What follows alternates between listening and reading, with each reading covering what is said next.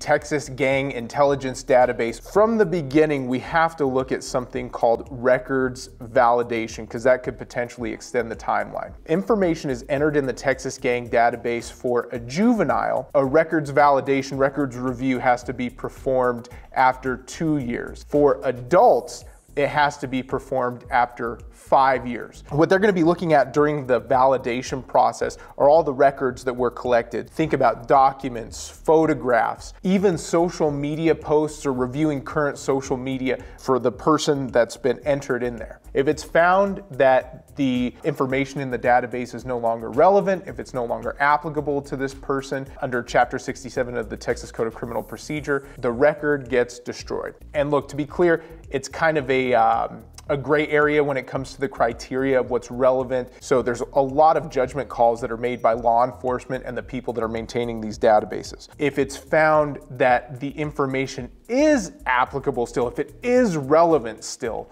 then the law enforcement agency that's reviewing the information in the gang database has the ability to keep it in for an additional two years if you're a juvenile or an additional five years if you're an adult.